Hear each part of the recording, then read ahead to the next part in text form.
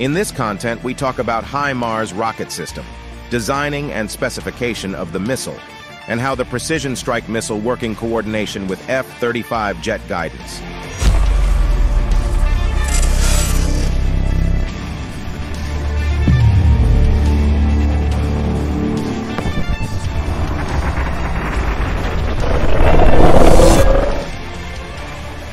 The HIMARS is a light multiple rocket launcher developed in the late 1990s for the United States Army and mounted on a standard United States Army family of medium tactical vehicles, FMTV truck frame. The vehicle weighs up to 10,000 kilograms. HIMARS is a full-spectrum combat-proven all-weather 24-7 lethal and responsive wheeled precision strike weapon system. HIMARS' later version of the M270 complete solution for fielded operation is a highly reliable system.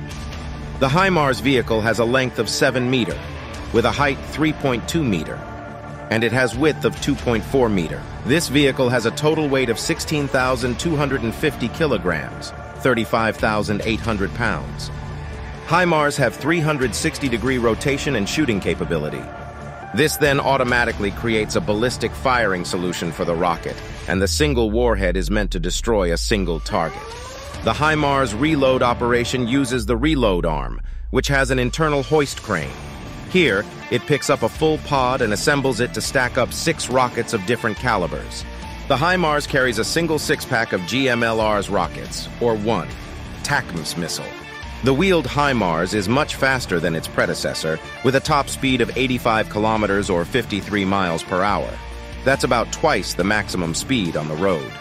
HIMARS is operated by a crew of three, a driver, gunner, and commander. The HIMARS is controlled by a computer-based system, so no more crew members are needed. It's possible for a single soldier to load and unload the missiles. The HIMARS are able to transport with Lockheed C-130 Hercules aircraft carriers to the operational location. Vehicle unload within 15 minutes after landing. The F-35 tracks and sends enemy targets from the battlefield then the command center sends the designated targets to the destroyer. Let's show you how the F-35 jet tracks targets in a simulated environment. The F-35 is using the Electro-Optical Targeting System, EOTS, which provides precision air-to-air -air and air-to-surface targeting capabilities. HIMARS are specifically designed to launch all types of MLRS munitions. Now let's talk about the Precision Strike missile. Developed by Lockheed Martin, it is a surface-to-surface -surface ballistic missile that will deliver enhanced capabilities to attack, neutralize, suppress, and destroy targets using missile-delivered indirect fires out to 60 to 499 plus kilometers. HIMARS hits the target with extremely high accuracy, so there is no need to utilize too many missiles to destroy targets. This is a HIMARS joint operation with an F-35, which is PRSM strike on an enemy target in a simulated environment.